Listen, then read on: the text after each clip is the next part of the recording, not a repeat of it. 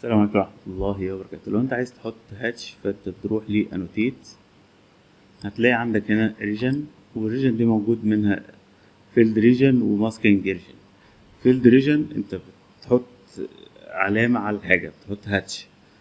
mask region بتستثني حاجة. طيب خلينا نشوف filled region الأول.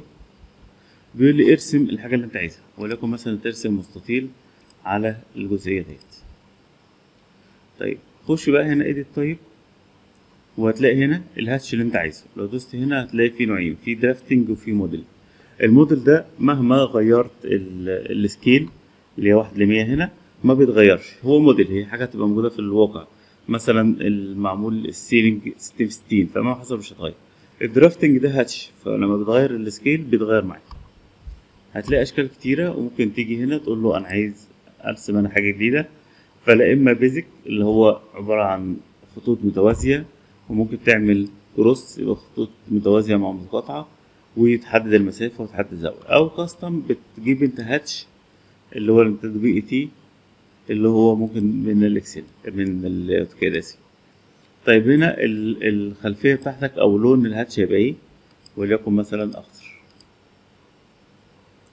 وهنا هيبقى فيه masking ولا لأ؟ وهنا ال line weight طيب okay. okay. هيظهر معايا ال hatch بالشكل دوت. تقدر تعمل عليه select تقدر تعدل فيه زي ما انت عايز. طيب ال mask بقى.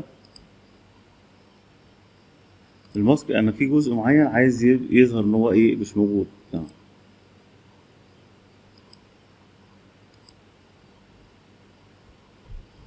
سكيب خلاص. بقى الجزء ده كأن هو ما فيهوش أي رسم خالص. في جزء معين انت اشتغلت فيه وعملت فيه الرسم وكل حاجة لكن مش عايز تبعته في في التسليمه ديت عايز تخليه للتسليمه اللي بعد كده. فبتعلم عليه وتكتب جنبيه أي كلمة إن ده مثلا في التسليمه اللي جاية أو ده آه، لسه وهكذا. في جزء معين أنت مش عايز يظهر معاك في مثلا في لسه في شغل كتير هتعمله.